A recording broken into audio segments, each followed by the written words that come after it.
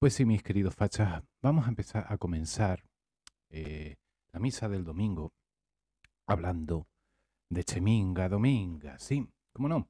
Este señor que se, se aprovecha de, de, vamos a decirlo claro, se aprovecha de su minusvalía para generar odio y soltar toda la mierda que él quiere impunemente. Y que es mucha, mucha, mucha la mierda que este señor tiene en su, en su interior, en su corazón.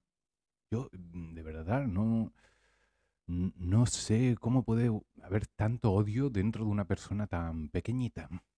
Pero bueno, vamos a... Venga, que comparto la pantalla. Ahí, ahora sí. Ahora sí, perfecto. Pablo Echenique. Pablo Echenique, que nos dice tal que así. Vale más una gota de valentía que un océano cobarde. ¡Ay, qué bonito! Esta es la parte en la que Yone Belarra me hizo llorar. Es volver a escucharla y se me pone la piel de gallina. Vale, de esto he visto un trocito nada más, no he visto los tres minutos, así que ahora pues vamos a, vamos a autotorturarnos y a ver si aguanto los tres minutos que dura este vídeo. Porque hay una cosa que, de lo que sí he visto de este vídeo a lo que quiero hacer referencia, ¿vale? Y de lo que haremos el corte, mm, haremos aquí un corte para, meterlo en YouTube. En YouTube, ¿has visto qué fino lo digo?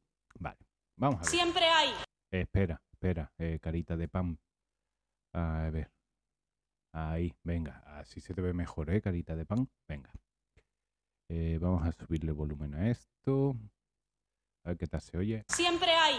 Uh, un poquito alto, pero bueno, eh, nos apañaremos así.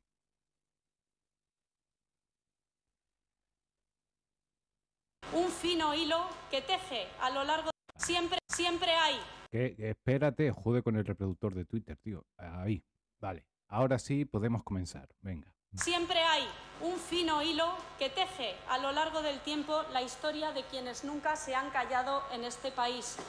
La historia de las que alzaron la voz, las que se plantaron ante los abusos, las que dijeron que no al poder de ahí venimos compañeros y compañeras y nos sentimos muy orgullosas de ello. A veces... No ha dicho compañeres, no has dicho compañeres, Yone. Eh, muy mal, muy mal. Eso eh, me da que te estás desviando hacia el facherío, eh, que, no, que no has dicho compañeros, Yone. Ese hilo se ha tejido bajo un sol radiante. Otras, las más de las veces, compañeros y compañeras, bajo una noche sin luna. A veces ese hilo ha sido siempre democrático, rebelde, republicano, pero no se empezó a tejer ayer, se empezó a tejer hace mucho. De él venimos y humildemente trataremos de entregar ese testigo con dignidad a las que vienen tras nosotras. El hilo de los comuneros de Castilla que se le rebelaron para exigir que la tierra volviera al común. El de los irmandiños en Galicia cuando Sí, sí, ahora resulta que los comuneros eran comunistas. Ay, dale, dale. muy bien, muy bien. Eh, señora Ione, a ver, los comuneros, los comuneros lo que estaban en contra era de, del rey Carlos, o sea, del rey Carlos I o Carlos V de Alemania. Yo prefiero llamarlo Carlos I porque fue el primer Carlos de España, porque si no luego nos confundimos, que si Carlos II, Carlos III y cómo puede ser que Carlos V estuviera antes, ¿no? Carlos I. Los comuneros se rebelaron contra eso y de hecho intentaron eh, hacer reina a Juana de Castilla, Juana I, hacer, que ella era reina de por sí, pero eh, que su poder fuese efectivo. Eh, los comuneros se rebelaban contra eso. y ahora usted nos los quiere vender como... Sé que hay un partido político, por lo menos recuerdo que lo había, no sé si sigue existiendo o es que se ha unido aquí a esto de Podemos, había un partido en Castilla-La Mancha y Castilla y León que se llamaba Castilla Comunera y era un partido así de izquierdoso y, hacía y, hacía referencia a esto, ¿no? Por su propio nombre, a los comuneros. Que nunca lo entendí, de verdad. Porque la historia de los comuneros no es que fuera aquí un, una, un levantamiento social comunista. Pero bueno, eh, como, como les estaba diciendo, ellos estaban en contra del rey Carlos I eh, e intentaron, eh, que ya lo rechazó, la propia Juana lo rechazó, la mal llamada Juana la Loca. Pues Juana I eh, lo rechazó y dijo que no, que el que tenía que reinar era su hijo y los dejó, los dejó un poco tirados, ¿no? Pero bueno, eso es cosas, cosas de la historia, ¿vale? Vamos a, vamos a, continuar con esto. El pueblo se levantó frente a los abusos de la nobleza. El hilo que tejió el pueblo de Madrid el 2 de mayo, cuando la gente humilde no obedeció a las élites y defendió la soberanía de su país el hilo del movimiento obrero que organizó la huelga de la canadiense, paralizó la industria catalana y convirtió a este país el primero de la historia en tener por ley la jornada laboral de ocho horas. Vale. ¿Qué ha dicho? ¿Qué ha dicho? A ver.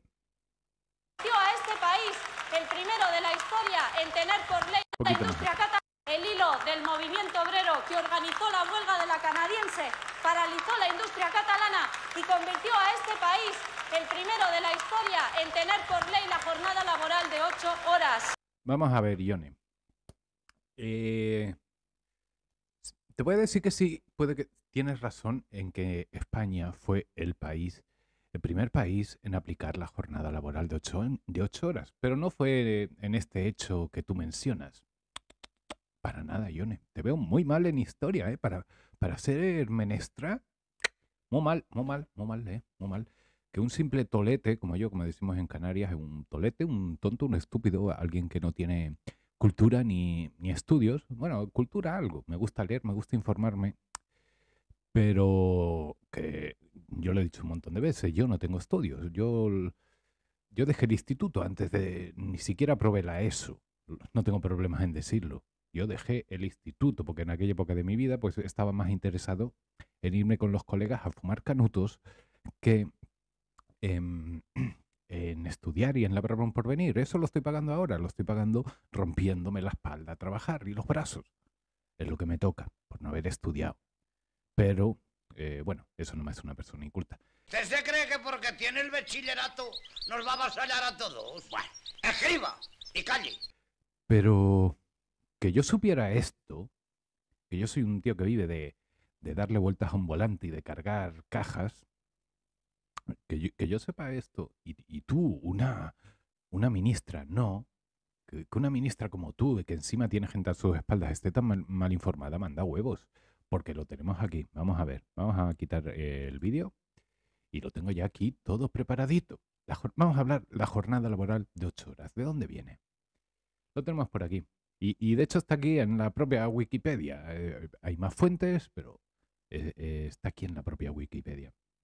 Y nos dicen por aquí, esto es importante, antecedentes históricos en todo el mundo. En España, en 1950, perdón, en España en 1593, Felipe II estableció por un edicto real la jornada de ocho horas. Todos los obreros de las fortificaciones y las fábricas trabajarán ocho horas al día, cuatro por la mañana y cuatro por la tarde.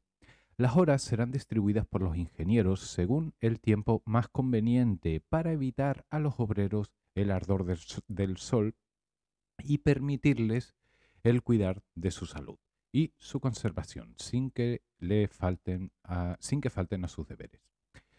Ley número 6 de la Ordenanza de Instrucción de 1593. Estas mismas condiciones laborales se aplicaron también a los indígenas americanos, que contaban con una legislación propia y se organizaban en repúblicas de indios, donde elegían ellos a sus alcaldes, excepto aquellos que trabajaban en las minas, cuya jornada se reducía a siete horas, una hora menos para los mineros. Y, para los indígenas, y, de esto, em, aunque no sale aquí, que de esto eh, también quiero decirlo, eh, el tema de la jornada laboral de ocho horas para los indígenas ya se aplicaba incluso de antes de Felipe II, ya lo ordenó la propia Isabel de Castilla, la propia Isabel la Católica. Así que, querida Yoni, em, ¿sabe usted a quién le, no, no le debemos aquí la jornada de ocho horas a sus a los revolucionarios rojos que usted menciona? No, se lo debemos a este señor, a Felipe II. Él fue el primero, él fue el primero y no cualquier eh, perro, flauta piojoso de los que usted le come el nabo. Así que Así que, querida Ione, las cositas como son. Las cositas como son. Debería usted, que es ministra, estar mejor informada. Digo yo, cuando se pone a hablar. Porque luego, y aquí tengo, aquí yo le he puesto pues mi respuesta. Y, y nadie me da like y nadie me sigue. Pues mira, a que me doy like yo solo corazoncito. Vale. eh, a ver, ¿me habrán dado like? No, no me han dado like. Hijos de puta. Solo lo ha visto dos personas. vale. Em, aquí se lo digo yo a la propia Ione. Lo, lo maravilloso de Twitter es esto. Me encanta Twitter porque, a ver, puedes responder aquí a, a esta gente y dejarlos en ridículo, tal cual. Y aquí, bueno, se lo digo yo. Eh, mentira, Felipe II firmó en 1593 la ley número 6 de la ordenanza de instrucción. Todos los obreros trabajarán 8 horas al día, 4 por la mañana y 4 por la tarde. Eh, las horas serán distribuidas según el tiempo más conveniente para evitar a los obreros el ardor del sol. Y no, puse, no lo puse completo porque no me deja Twitter, que ya sabemos que los caracteres limitados, como en los SMS antiguos. Pues nada, querida Yone y querido Echeminga, que no, que no, que no tienes razón, que no hay, que no, no, no. Vamos a seguir viendo el vídeo, a ver si acaso dice algo interesante. Y si no, pues que le den por el culo, ¿vale? Eh, tacatá, venga. Y ahora, Compañeros y compañeras, y ahora se me ha puesto desde el principio, ¿por dónde nos quedamos? haremos de entregar ese testigo con dignidad a las que vienen tras nosotras. El hilo de los comuneros de Castilla que se le rebelaron para exigir que la no obedeció a las élites y defendió la soberanía de su país. El hilo del movimiento obrero que organizó la huelga de la canadiense, paralizó la industria catalana y convirtió a este país el primero de la historia en tener por ley la jornada laboral de ocho horas. Lo hizo el pueblo de este país cuando trajo en las urnas la Segunda República, echando a la monarquía corrupta. Lo hizo el campesinado extremeño. Y, y esto, lo de la jornada laboral de ocho horas, no es la primera vez que un político lo saca y se le corrige. Y sigue en R que R. ¿Y quién era? Eh, que me corrijan, porque no. Seguro que voy a meter la pata. No sé si era Joseph Goebbels. eh, sé que era alguno de los. mm, De los estos, de los. De los. Joder. De, los palmeros de Hitler, de los que todo tenía a su alrededor. Creo que era Goebbels que decía, eh, repite, una, repite una mentira mil veces y se convertirá en verdad, ¿verdad? Eh, ¿Era de Goebbels? ¿O, estoy yo metido? o vamos, a, vamos a buscarlo, a ver. Eh,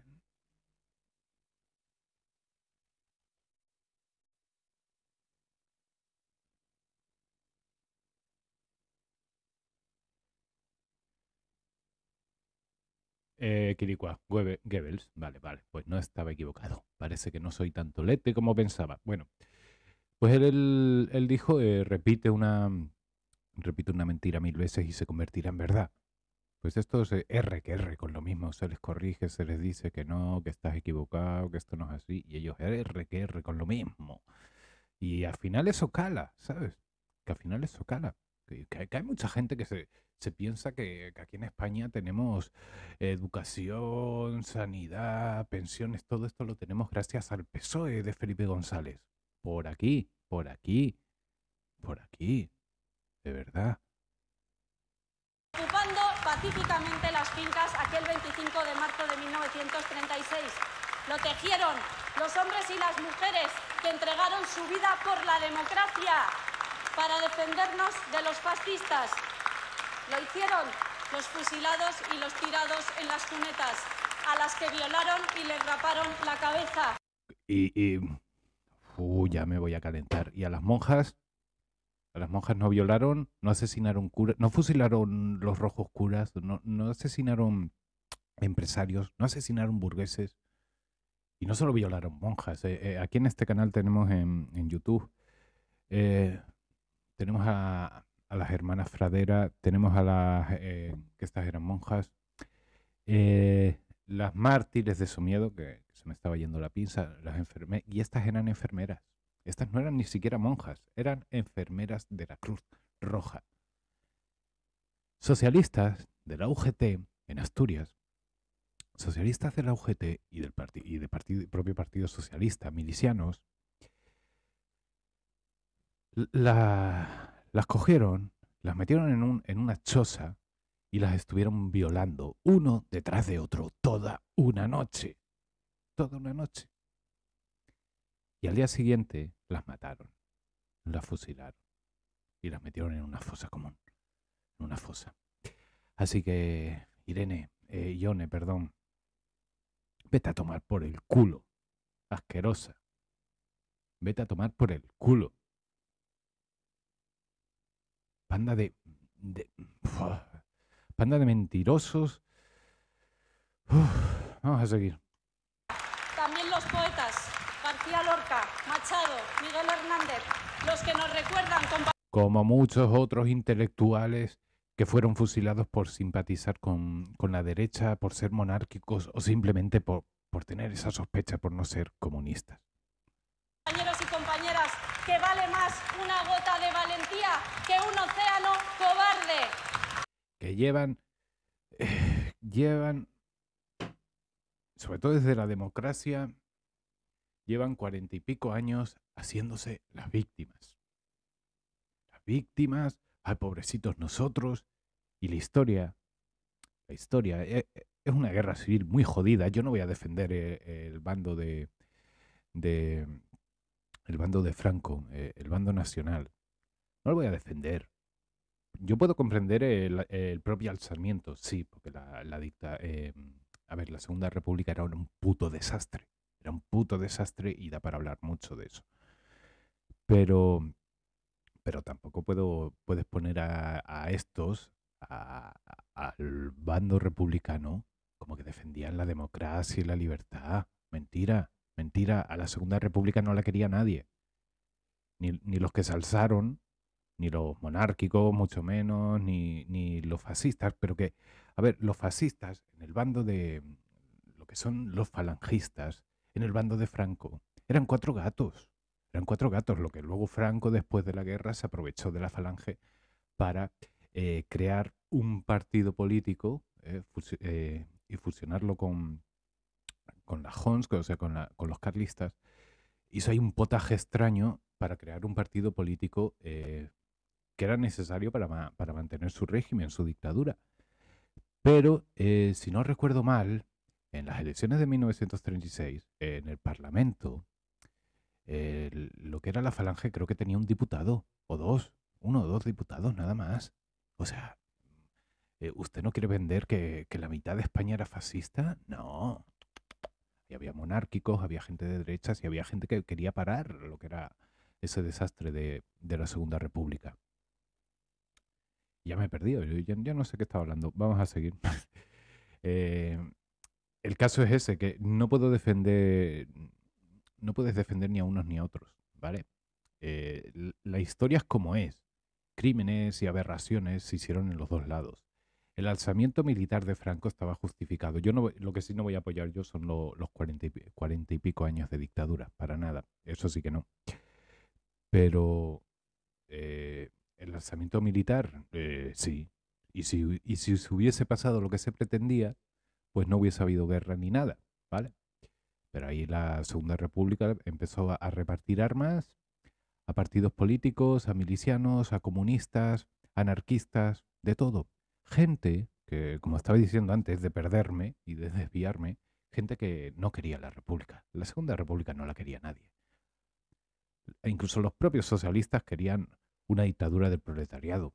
Los comunistas querían una dictadura del proletariado. Los anarquistas querían eh, a mí no me la venden eh, estos anarquistas. E, ellos no querían tumbar de, Estado. Al final querían organizarlo de, una forma comunista igualmente. Eh, por lo menos los anarcos sindicalistas, la gente de la CNT, eh, para mí son, para mí en la práctica son prácticamente comunistas también. no proponen un anarquismo real. Entonces, y luego el bando de el bando nacional tampoco quería Tampoco quería la Segunda República. ¿Quién quería la Segunda República? Eh, los de Azaña, de izquierda republicana, y poco más. y poco más. Y, y algún, y algún republicano de derechas que también lo había en el bando nacional. O sea que, señores, que la Segunda República no la quería nadie. En la guerra civil, cada uno luchaba por su propia revolución y de hecho llegaron a darse hostias entre ellos, como fue el caso de Barcelona. Vale, vamos a seguir. Eh, cuando, se, cuando se liaron a tiros entre comunistas y anarquistas en Barcelona. De eso, eso no sabrás nada tú, ¿no, Ione? Me, imagino.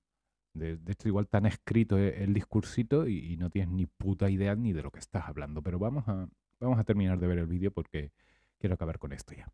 El hilo de las mujeres y los hombres que trajeron la democracia peleando contra el franquismo en la clandestinidad. Recogemos el hilo de quienes Otra mentira. Otra mentira. ¿Quiénes, tra- quiénes trajeron, ¿Quiénes trajeron la democracia tras la muerte de Franco? Pues, mira, Juan Carel Campechano, por un lado, y luego eh, un montón de políticos de- del propio régimen, eh, eh, o sea, gente que, que ya estaba en el gobierno, tipo Fraga y mucha gente más. Eh, todos estos políticos fueron los que, que eran falangistas, o sea, eran del partido de, de- la falange, de y, y eso, joder, y esta, y fu- fueron esta gente las que lo que lo llevaron adelante, los que llevaron adelante, por lo menos el inicio de la transición, fueron los que permitieron que se legalizaran todos los partidos, incluido el Partido Comunista, y fueron los que se abrieron sin necesidad de, de, ser presionados por revueltas y demás. O sea, eh, prácticamente eh, los propios políticos que estaban por debajo de Franco ya, ya habían escrito, ya tenían planeado eh, iniciar esta transición hacia la democracia. Y el propio rey, por supuesto, el, el rey emérito, ese que tanto odian ahora. han cuidado y protegido su lengua, de quienes sueñan, lloran, en euskera, en catalán, en valenciano o en gallego. El hilo del pueblo andaluz que aquel 4 de diciembre se levantó para decir que Andalucía como la que más. Las millones de personas que salieron a la calle a decir no a la guerra frente a un Y ahora se pone aquí a hablar de que sí, que Franco oprimía al gallego. Vale, vale, sí, sí, el catalán y todo. Eh, joder, es que me van a hacer buscarlo. Ahora lo buscamos después. Ahora lo buscamos. Vamos a terminar. invasión criminal.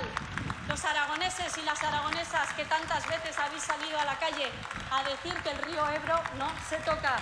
Quienes pusisteis el cuerpo frente a los desahucios, el 15M, el 8 de marzo, las taxistas, los pensionistas, las trabajadoras del hogar, los mineros y quienes defienden el mar menor.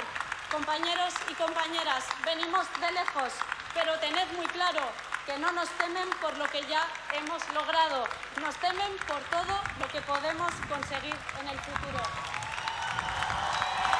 Sí, eh, no, yo lo único que temo de ustedes es que, que me torturen en una checa y me metan en un gulag. En, en Siberia no, porque queda muy lejos, pero yo qué sé, en Teruel, que hace también bastante frío en invierno. Pero bueno, ese es el único miedo que yo le tengo aquí a los comunistas. Por lo demás, eh, risa y, ustedes están en, en franca decadencia. Y esa es la, la gran felicidad. Y vamos a buscar por aquí una cosita. Mientras tanto, mientras lo encuentro, les ponemos musiquita.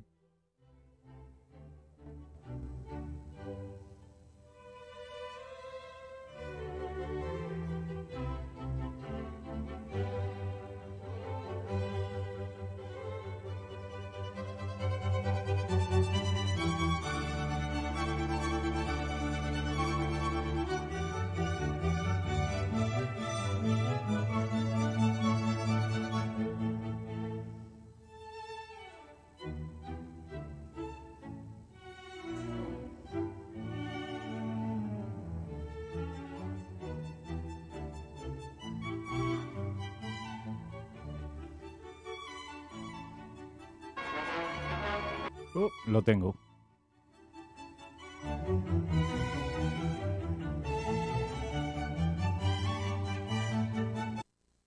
Vale. Coño. eh, de hecho, eh, qué canal más extraño. Mira. Catalibanes, crónicas de la yihad separatista. Oye, yo creo que me voy a suscribir a este canal. vale, vamos a verlo. La montaña sagrada de Barcelona es toda ella santuario dedicado a la patrona de Cataluña, Nuestra Señora de Montserrat. El generalísimo y su esposa llegan al monasterio a donde se han trasladado también muchos barceloneses para tributar homenaje de afecto a sus excelencias.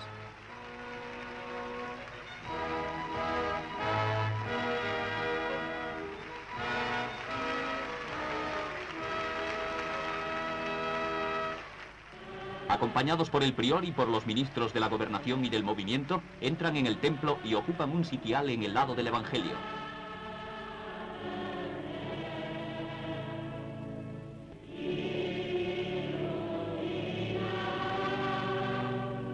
Después de la salve, el caudillo y su esposa subieron al camarín de la Virgen para besar a la sagrada imagen.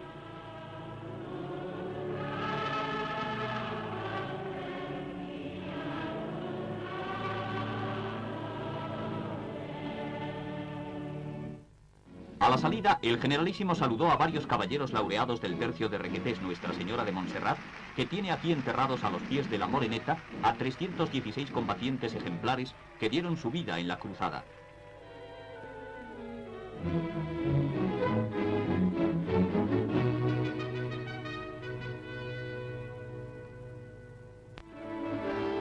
Desde Montserrat, sus excelencias se trasladaron a Martorell,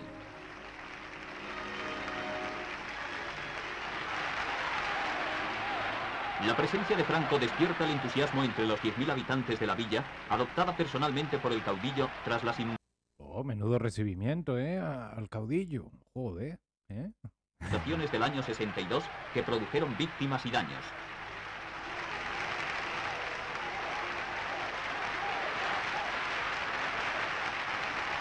El alcalde de Martorell ofrece al generalísimo la medalla de oro conmemorativa de la reconstrucción.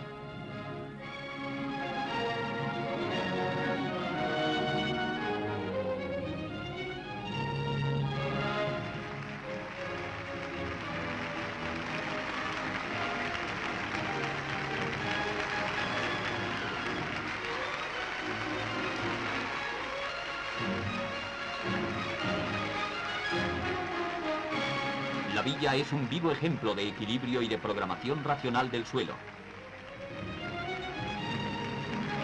Una tuna estudiantil da escolta al coche de Franco.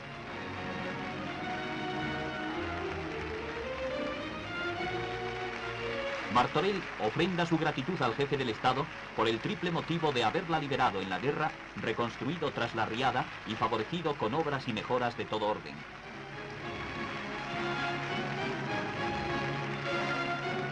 Mira, mira, todas las casas que hizo Franco, ¿eh? Joder, Franco era un poco, eh, encima así muy de estilo soviético, la verdad.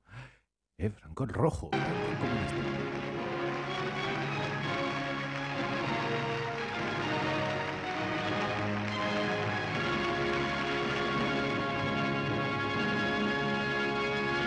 Vale, pero no es esto, lo, se acaba el vídeo, pero no es lo que me prometí. Pero dicen que está prohibido cantar, o por lo menos no, no lo he pillado yo. A ver, eh, esto no era, a ver. eh,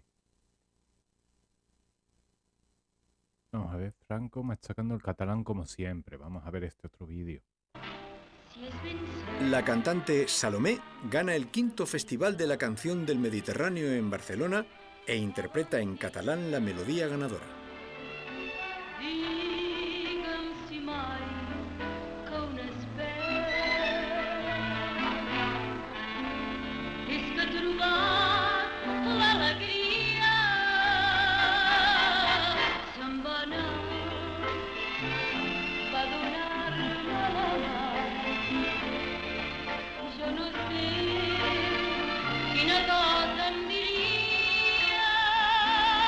Escucha esto, Ione, escucha, escucha. Cantando en catalán. E- En el año 63. Claro, em, súper oprimido el catalán estaba. Prohibido, prohibidísimo. Y si te veían hablando en catalán por la calle, te daban un palo. Te daban un palo en la cabeza. Claro que sí, claro que sí. Y yo me lo creo.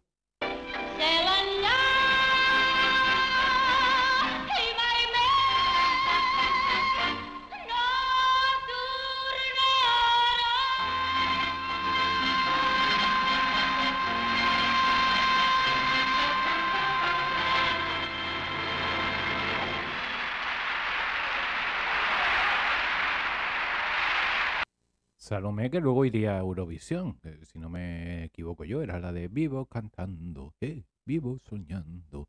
Tarariroriroriro, ¿qué está pasando? La misma. Vale. eh, yo creo que ya está. Vale, no. Había un vídeo por ahí de una película. eh, a ver.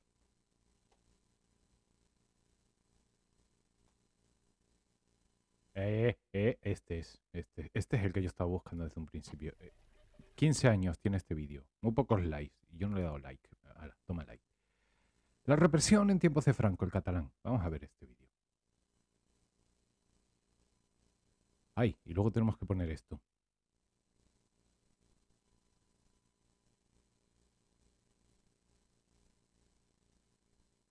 Ahí, venga. You can swim on the beach or to the left. Thank you. Tomar niñas y a ver si no molestáis. Eh, oiga. ¿Qué dice la jefa? Que si ese señor que tiene que venir a comer va a venir ahora o después. No, no creo que venga. Usted dijo que iba. ¿Qué hay para comer? Se dormí. Es de set de manes que hi ha per dinar. Sarsuela. Sarsuela de pescado y de postre plátano. Franco oprimiendo el catalán. De verdad, claro que sí. Franco oprimiendo el catalán. Ah, Sí, sí, sí, sí, sí. Sí, claro. Claro que sí. Claro que sí, guapi. Tremendo, tremendo temazo noventero, madre mía. Los años 90, cuando se podía respirar la libertad, cuando la gente era libre, cuando la gente no se ofendía por cualquier puta mierda.